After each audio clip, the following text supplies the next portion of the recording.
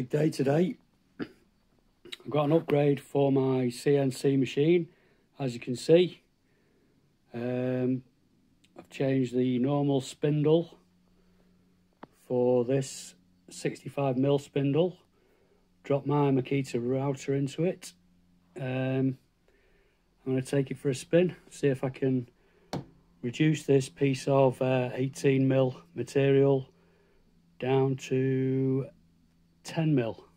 I'm going to take 4 mil off the top and 4 mil off the bottom using this bit, which is a, uh, a quarter inch diameter um, shank uh, and it's got a 15 mil cutting width on it.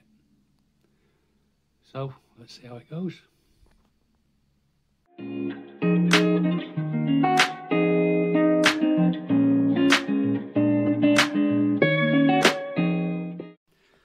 So I'm in Carveco Maker.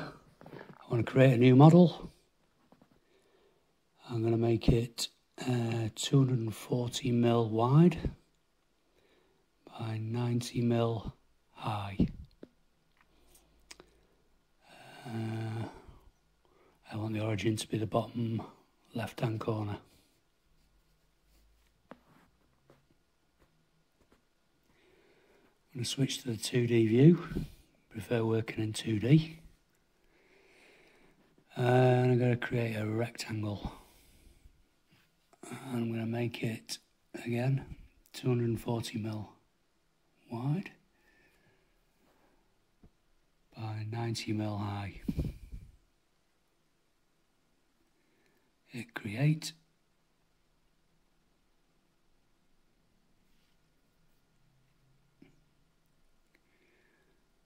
The next thing I do is want to create a toolpath.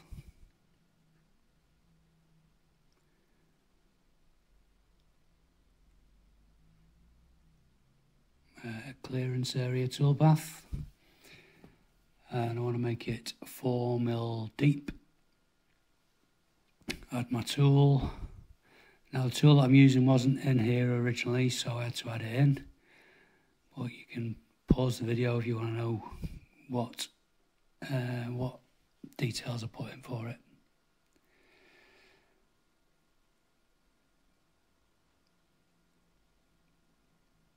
So it's an offset.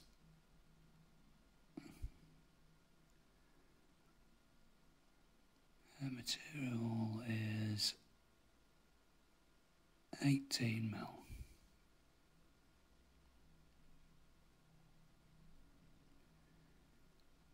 Call it thickness.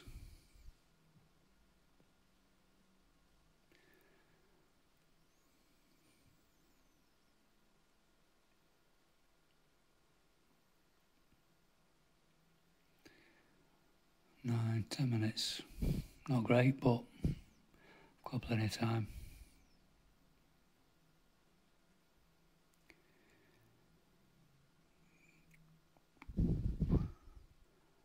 Got to be honest with you, I don't get on with this uh, Carveco Maker at all. I've been experimenting with Fusion 360 and I'm definitely going to make the switch. I do not get on with this software.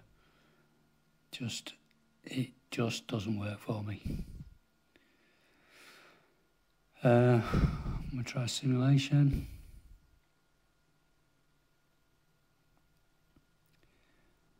I suspect it's partly my fault. I don't really understand what how to use it. I don't uh, don't use it enough to understand, but Fusion 360 seems I'm not going to say easy, but more intuitive.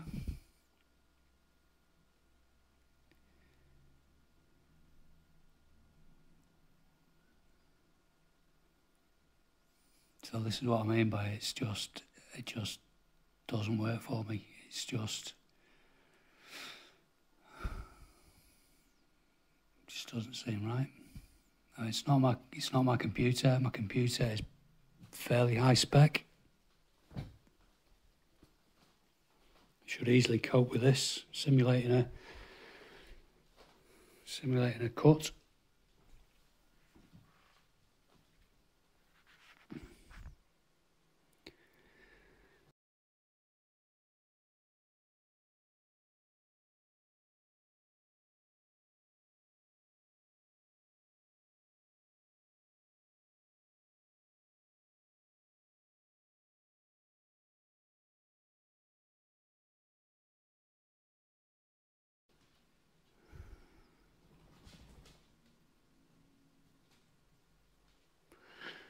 Yeah, I'm going to sack that off.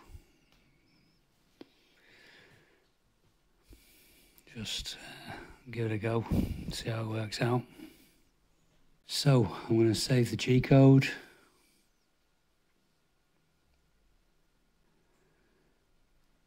Name it thickness.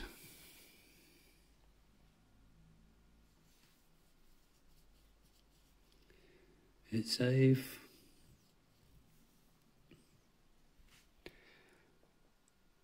There we are, good to go. Close it down.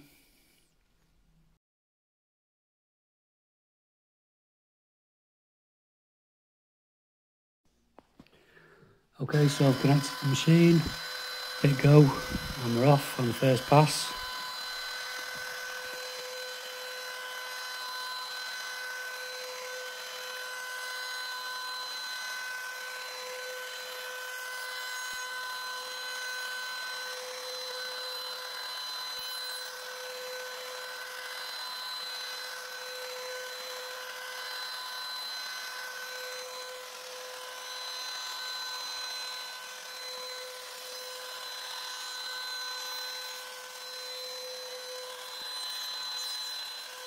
This is what the first side looks like when I finished.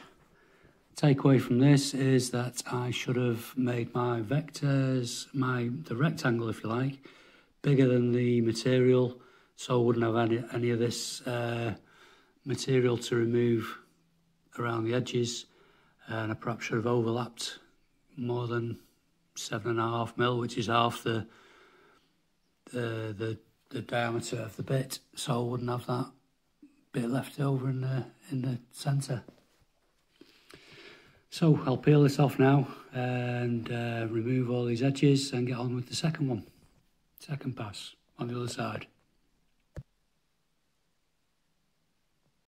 Second pass is all done. Uh, same problem again. You know, I've got the bits around the edges and a little bit in the middle, but it's easy enough to remove by hand. Just uh, pare it off with a sharp chisel give it a bit of a sand. Job's a good one.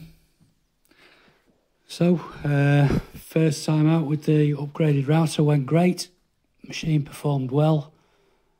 This uh, this desktop CNC is just not skipped a beat at all.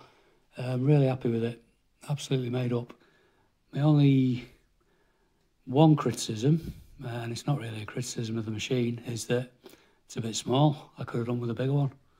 But hey, next time. Okay, that's it for now.